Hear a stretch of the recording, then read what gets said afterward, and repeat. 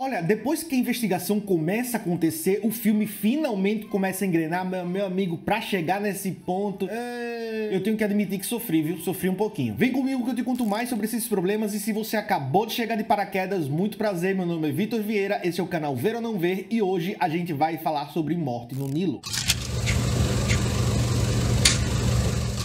Resumidamente, Morte no Nilo conta a história do investigador Hercule Poirot. Hercule Poirot, eu nunca vou saber falar esse nome direito, mas o fato é que ele tá de boa no Egito, tirando férias, e aí meio que do nada ele encontra um amigo dele chamado Book, que faz um convite quase que inegável. Ele diz, meu amigo, ó, eu vou pra um casamento de uma ricaça, é come, bebe livre, tudo do bom e do melhor, bora comigo, vamos, vamos, tenho certeza que você vai gostar. E quando ele chega, ele já percebe que tá rolando uma parada meio estranha, entendeu? Até porque numa retrospectiva mostra que ele já teve contato com aquele casal, já sabe que o que tá rolando por ali pode dar muito ruim. Mesmo assim, ele decide continuar na comemoração, até que pelo desenrolar de alguns acontecimentos, o pessoal lá decide que o melhor era sair daquele hotel muito chique e continuar comemorando descendo num cruzeiro pelo Rio Nilo. A direção é do Kenneth Branagh, que já dirigiu filmes como o Thor de 2011, que eu não gosto, e como Belfast, que ganhou o Oscar de melhor roteiro, escrito inclusive por ele mesmo. E aqui na Morte do Nilo, eu acho que ele teve dois grandes problemas que dificultaram bastante o processo de finalização e de entrega desse filme. Um deles, é claro, é a questão da pandemia, que dificultou não só a entrega, né, porque o filme foi adiado várias vezes, como também na questão da produção, porque eles acabaram não indo pro local de filmagem e usaram muito tela verde. Tem horas que você olha e você sabe que ali tá um fundo verde bem, bem mal feito. Véio. Eu acho que as partes mais perceptíveis são aquelas que são de tomada de cima, tá ligado? Como se fosse filmado de drone. Porra, aquilo, aquilo ali tá feio demais, velho. E o segundo ponto que prejudicou muito esse filme foi a questão do cancelamento de alguns atores. A gente tem aqui a Leticia Wright que durante a pandemia virou uma máquina de soltar e produzir fake news. Ela fazia campanha mesmo anti-vacina, isso pegou muito mal pra atriz. O comediante Russell Brand também acabou falando umas besteiras, tomando umas atitudes que acabaram queimando ele tanto pro público como pra indústria. Mas o caso mais pesado foi do Armie Hammer, acusado de abusador e canibal, diga aí que loucura, velho, que acabou soterrando por completo a carreira dele. A Disney até tentou editar, tirar ele mais da tela, mas, velho, ele era um dos principais e acabou tendo que deixar mesmo, ou então eles teriam que fazer o filme praticamente do zero, o que economicamente acabava sendo inviável. Tá, Vitor, mas vamos lá, por que, que esse filme é sofrido até o momento que a investigação começa a acontecer? Tá, vamos lá, eu vou explicar. Esse filme é muito longo de forma completamente desnecessária, ele é muito chato, sabe? Quando o filme tem muita coisa que não contribui de jeito nenhum pra narrativa. Por exemplo, logo a primeira cena do filme, quando começou, eu até olhei para ver se eu tava assistindo o filme certo, e sim, era uma morte no Nilo, e essa sensação de estranheza foi porque a história contada ali era meio nada a ver. O Caba na guerra, na, na, Primeira Guerra Mundial, em 1914. E tava até interessante. Eu tava assistindo, eu falei, mano,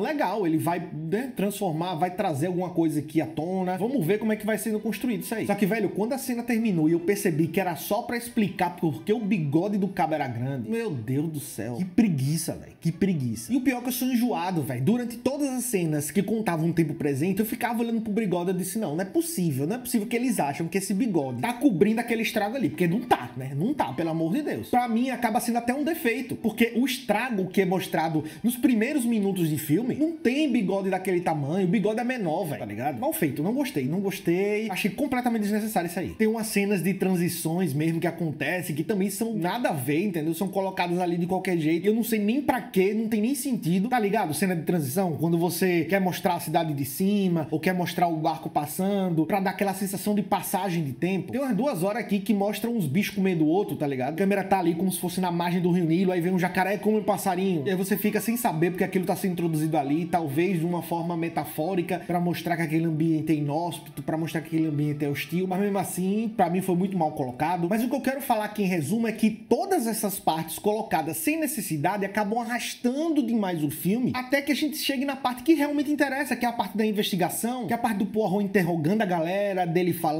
pegando uma pista aqui, outra ali. Velho, é quase uma hora de filme. Não, eu acho até que é um pouquinho mais de uma hora de filme mostrando essas coisas nada a ver, tá ligado? Tá, eu parava, às vezes eu pausava o filme dizendo, velho, porra, bora, meu amigo, adianta isso aí. Se ele ainda dissesse assim, não, a gente vai pegar isso aqui, esse tempo de uma hora, né? O filme tem duas, a gente vai pegar metade do filme para poder falar mais dos personagens, para poder mostrar mais a vida de cada um, para com isso criar aquele clima de dúvida, deixar pra gente uma pulga atrás da orelha com cada um. Não, de fato, todo mundo aqui tem motivo para matar essa pessoa. Mas não, velho, eles não desenvolvem os personagens, entendeu? E essa falta de desenvolvimento para também não deixar uma coisa tão desconexa na revelação final acaba sendo muito óbvio. E aí para mim, quando o final chegou, eu falei, não, não, não acredito, eu não acredito que o final é esse. É muito broxante, velho. Pra mim, foi muito broxante. Eu sei que vai ter gente que diz assim, ah, velho, massa, eu descobri quem é o assassino. Muito antes do, do investigador, eu já sabia quem era. E se você de fato é uma pessoa muito ruim, pegar pistas e acabar descobrindo no final, parabéns, você fez o que basicamente todo mundo já sabia. Mas ela não é só coisa ruim não, tá? Na parte da fotografia, apesar de ter muita tela verde, muitos efeitos especiais mal feitos, eu gostei muito da parte da fotografia no que diz respeito à iluminação. Quando a gente tinha aqui cenas internas, eu gostava como a luz incidia no rosto dos personagens, dava um clima todo no ar, as cenas ganhavam uma atmosfera de mistério muito massa. Na parte externa, quando o sol estava muito forte, a gente via pela maquiagem dos personagens a pele bem oleosa, o que passava a ideia pra gente de calor, de que aquele clima realmente estava muito quente. E isso contribuía também com o nervosismo de toda aquela situação. E essa fotografia combinou até que bem com a trilha sonora, que é uma coisa mais atmosférica, mais misteriosa, que apesar de ser bem esquecível, fez um trabalho direitinho no conjunto da obra até que passou na média.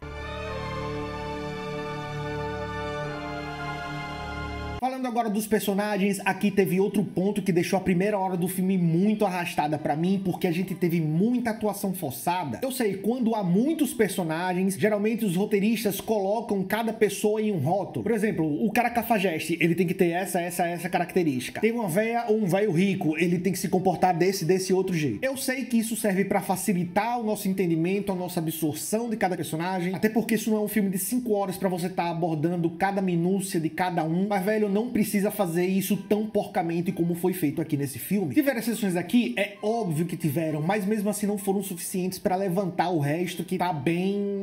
Uh. O primeiro personagem é o Hercule Poirot, que é interpretado pelo próprio Kenneth Branagh. Aqui ele continua cheio de toques, mas tem um desenvolvimento maior do que ele teve no assassinato do Expresso Oriente. Ele faz um personagem que duvida de todo mundo e que consegue muitas das informações pela provocação. Ele vai provocando, alfinetando, até que a pessoa sai de compasso e acaba entregando alguma coisa. A gente consegue perceber que o Brennan tá muito confortável, que ele tá gostando de viver aquele personagem e que por isso mesmo a atuação dele tá muito leve e é de fato uma das melhores do filme. Temos também o Buck interpretado pelo Tom Bateman, que aqui faz o mesmo personagem vagabundo e aproveitador do primeiro filme. Ele é um grande amigo do Poirot e aqui continua muito brincalhão e muito carismático. É através dele que Poirot ingressa nessa história e a atuação do ator tá legal, ele me convenceu, ele também tá bem leve, tá bem de boa. Já a vivida pela Gal Gadot, faz aqui a personagem principal da história. Ela é uma mulher muito rica, que tá rodeada de pessoas, mas que ao mesmo tempo não se sente muito confortável, ela não confia em ninguém, justamente porque ela tem muito dinheiro e acha que todo mundo que tá ali tem interesse no que ela tem e não no que ela é. A interpretação da Gadot tá bem qualquer coisa e definitivamente não me convenceu, principalmente nos momentos de drama que ela precisava dar um pouco mais de ar, ela precisava dar um peso à narrativa e para mim com certeza não foi. Já o Simon vivido pelo Armie Hammer faz aquele velho papel de galã cafajeste golpista que posa de bom moço. A interpretação dele não tem nada demais, tem uma cena aqui que ele chora compulsivamente, que foi até legalzinha, mas eu tenho que admitir que o ginge que eu peguei da vida pessoal do ator acabaram influenciando muito na questão da absorção das cenas onde ele aparece. Do mesmo jeito que acontece com a Letitia Wright, que faz aqui a Rosalie, que sempre que tinha um pouco de destaque fazia eu me desconectar bastante do filme, virar os olhos, pelo amor de Deus, que acaba piorando tudo, velho, que aqui ela faz uma mulher cheia de princípios, toda corretinha, tá ligado? Ah, velho, na moral, não combinou nem a pau. Temos também a Jacqueline, interpretada pela Emma McKee, e aqui ela faz uma mulher muito apaixonada, que é capaz de mover céus e terras pelo amor dela. Ela é obsessiva, ela é compulsiva, só que na hora de demonstrar toda essa compulsividade, eu acho que ela pesou muito a mão, e como o Kenneth Branagh acabou não freando, todas as aparições dela, pelo menos a maioria, acabaram ficando muito forçadas. Para mim, a construção dessa personagem é uma das piores coisas do filme, mas eu vou parar de falar por aqui para não estragar a experiência de ninguém. Temos também o Linus interpretado pelo Russell Brand, aqui ele faz um ex-namorado da Liné e um médico da tripulação. Para mim, a presença dele não faz muito sentido. A todo momento deixa claro nas expressões que não superou o término do relacionamento com a Liné, mas mesmo assim vai participar da lua de mel, velho. Nada a ver. Eu sei que tem gente que gosta de sofrer, mas, velho, pelo amor de Deus, era a lua de mel da mulher que você era apaixonado. Mas além da presença dele não fazer muito sentido naquela história, a atuação do Brandy para mim aqui tá péssima. Parece até que ele tá fazendo um filme sem nenhuma vontade de estar tá ali. O Andrew, interpretado pelo Ali Fazal, é o personagem personagem que mais sofre com essa questão dos rótulos. Aqui ele faz o contador da Linnea, o cara que toma conta do dinheiro dela. E junto da Jacqueline é o personagem mais problemático da história. As coisas que ele faz, as histórias que ele conta, mais uma vez impactam negativamente pro desenrolar dessa história. O desfecho com ele no final, meu amigo, é muito ruim, velho. A Solomon, vivida pela Sophie Okonedo, faz a cantora do grupo. Ela tem uma voz muito potente, uma voz muito bonita, e talvez essa seja a minha interpretação favorita depois da do Kenneth Branagh. Ela é uma personagem sedutora, uma personagem muito forte, já tá escaldada pela vida porque já passou por muita barra, e por mais que ela tenha um tempo de tela semelhante ao dos colegas, eu acho que aqui o filme acertou na questão do desenvolvimento da personagem, o que prova que não é necessário muito tempo para poder contar a história de alguém, basta só que você escolha os detalhes certos nas horas certas, que não só você ia ter um desenvolvimento melhor do que você tá contando, quanto deixaria o próprio público que tá assistindo com uma dúvida maior, entendeu? Temos também a Eufímia, interpretada pela Annette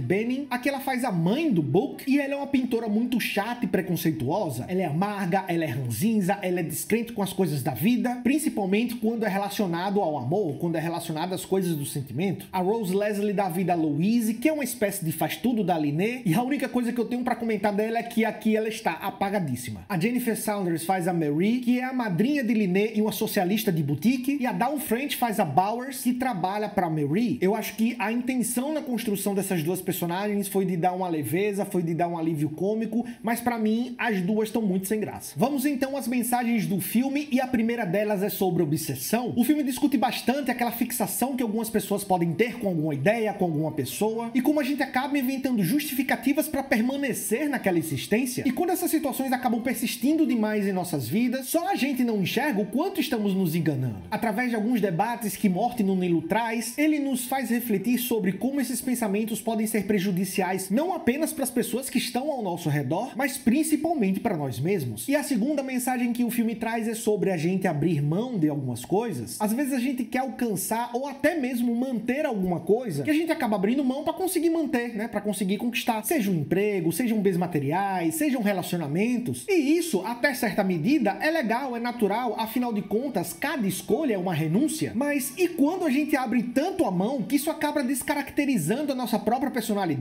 Ou pior, quando isso acaba forçando a gente a tomar certas atitudes que a gente não queria tomar. Será mesmo que tudo aquilo que a gente quer conquistar ou tudo aquilo que a gente quer manter vale a pena? Será que não seria mais aceitável a gente repensar e estabelecer limites a nós mesmos para que a gente não passasse pelo risco de acabar nos tornando pessoas que a gente não queria? E vamos finalmente para o veredito, ver ou não ver? Eis a questão. Se esse filme tivesse meia hora a menos, ele seria muito melhor. Ele não seria um filme ótimo, mas com certeza seria melhor do que esse aqui. A parte da investigação é legalzinha porque eu gosto de cenas de interrogatório, gosto dessa perseguição ao assassino, entendeu? Mas o desfecho desse filme, cara, é muito fraco, velho. Não gostei, não gostei mesmo. É claro que se você for fã incondicional desse tipo de história, você pode até acabar se divertindo. Não, pelo menos eu, com certeza, não vou reassistir. Mas agora me conta, você gostou desse filme? Você achou que foi algo revolucionário? Você achou que a fotografia foi muito bonita e que os efeitos especiais estavam bons? Vamos conversar um pouquinho mais sobre esse filme? Ah, e não esqueça de curtir, se inscrever e ativar o sininho para não perder nenhum novo vídeo que eu postar por aqui. Eu vou indo nessa e eu espero que você tenha uma semana maravilhosa. Valeu!